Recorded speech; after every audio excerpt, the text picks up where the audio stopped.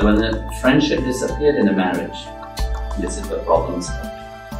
Before marriage, everybody have time to flirt around. Now You have time to go to cinema, you have time to go to, swim, to the restaurant, you have time to go everything around. Yes or no? But once you got married, you don't have any time. This is where problems start arising. So keep that friendship always.